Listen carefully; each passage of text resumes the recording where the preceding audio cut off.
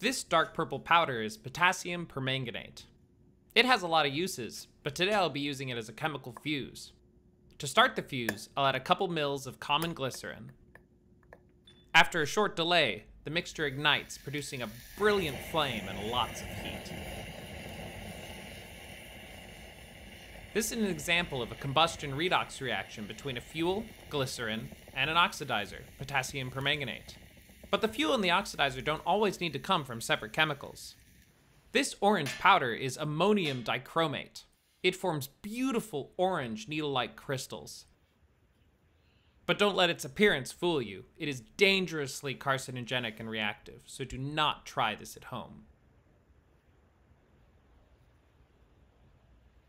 To the mound of the ammonium dichromate, I'll add a little bit of the potassium permanganate,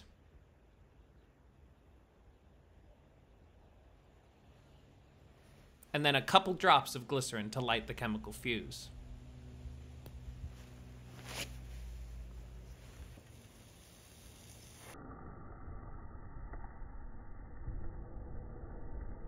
This catches fire, creating enough heat to push the ammonium dichromate to the point of thermal decomposition.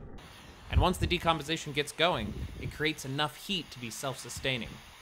Part of what makes ammonium dichromate dangerous is it is one chemical compound composed of both a fuel and an oxidizer. In this reaction, the dichromate ion oxidizes the ammonium ion into two gases, nitrogen and water vapor. The dichromate ion is composed of oxygen and the shiny metal chromium, where the word chrome comes from, and it's what makes this stainless steel sheet stainless. It's pretty interesting because each chromium atom is in a rare state where it has six bonds, this is much more than normal, and it's what makes it such a strong oxidizer.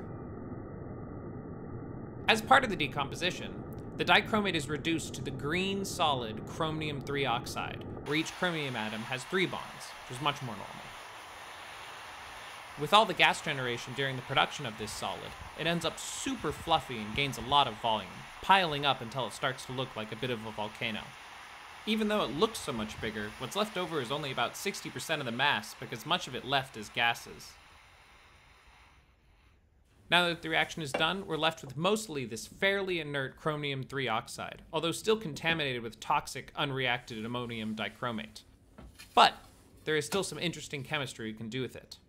Chromium is much less reactive than magnesium, and so chromium 3 oxide can be mixed with magnesium powder to make an exotic thermite.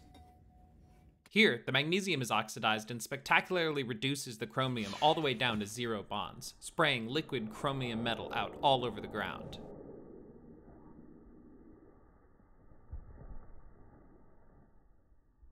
Thanks for watching, and a special thanks to my patrons, especially the premium and VIP patrons listed here.